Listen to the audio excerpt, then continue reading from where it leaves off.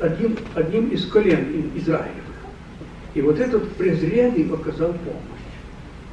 Причем хорошо заплатил.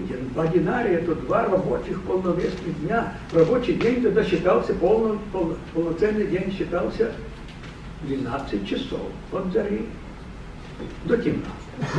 12 часов это примерно как труд шабашника с той стороны, откуда мы вышли. 12 часов, я таковым был 9 лет после того, как покаялся, когда был лишен всяких прав, чтобы где-то на какой-то своей воспитательной работе работать, так как супруга моя. И детей хотели отнять из-за этого. И вот этот мой труд был 12 часов это нормальный день, когда немножко овральчик 15 часов, а короткий рабочий день был 8 часов. Вот такая была раскладка, и так все эти годы до самой Америки, когда мы переехали сюда. И вот этот -то труд, это вот такой, сказать, сгущенный пот вот этого человека, который два дня работал тяжело, чтобы заплатить за этого чужого человека, которого он не знал ни имени, в которого он, несомненно, испачкался, потому что взять, взять неподвижное тело, там все такое, там тело наше состоит на 75 плюс-минус процентов из воды, то есть на три четверти. Когда человек как мешок какой-то жидкостью, его надо взвалить, пока взвалить, он запачкается, вот в него кровь и прочие, прочие, прочие продукты. И вот этот человек не побрезгал. Ты и я, если так подобных обстоятельствах придется нам где-то встретиться, мы сможем ли вот так легко взять, подложить под человека? Делай ближнему, как бы ты хотел делать тебе. Мы это выполняем? Ну, давайте нам будем выполнять. Может, возможно, будут такие обстоятельства, что придется. Те, которых мы презирали, те, которых мы не считали себе равными, потом могут оказаться помощниками для нас. Мы же должны по, по призыву Иисуса Христа не проклинать, а благотворить обижающих нам, нас. Они будут нас обижать, а мы будем им благотворить. Они будут нас ругать, они будут нас арестовывать а мы должны показать им человеку. Этим самым мы придем тот огонь, то, вернее, будем говорить, жар на, на голову. Об этом тоже отдельная история, откуда этот жар, откуда это все, не сейчас об этом говорить.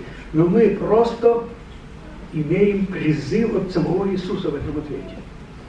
Поступай так же. И это будет называться твой ближний. Потому что я так знаю из практики своего служения и многолетней практики жизни, что христианство наше как-то совсем однобоко воспринимает понятие, кто, кто мой ближний.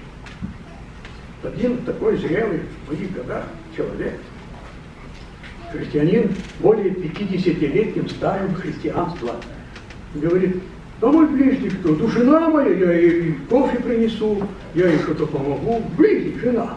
Ну, так понятно, что ближний. А вот в данном случае здесь человек с чуждой какой-то расой, чуждым каким-то мировоззрением, и объект твоего презрения, вот это почему-то становится в категории ближних.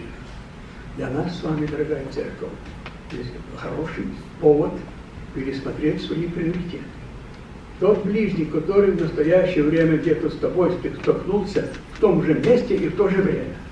Дальше, может, ты его никогда не увидишь. Но на этот момент он ближний.